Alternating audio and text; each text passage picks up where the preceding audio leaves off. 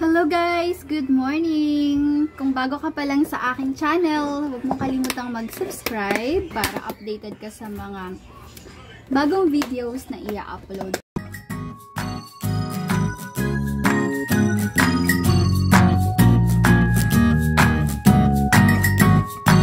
So guys, for today's vlog, magluluto ako ng tipid na ulam. Actually, magre-recycle tayo ng perang ulam. So, ito guys,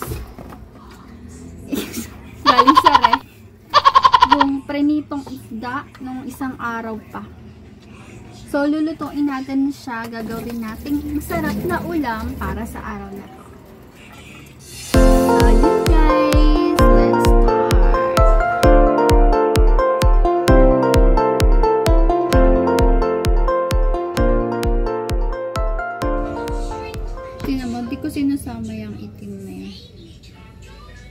Pag naghihiwa ka, tinatanggal ko yun. Hmm.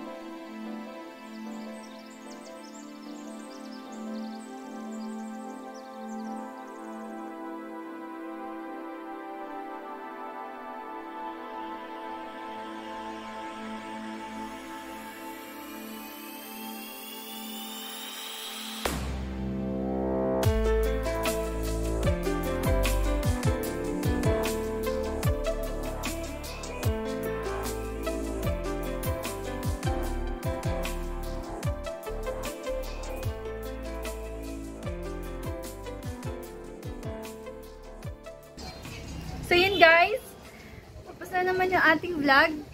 Salamat sa mga nanood at kung nagustuhan niyo po yung aming video, please pakishare, like, and subscribe naman. Salamat po!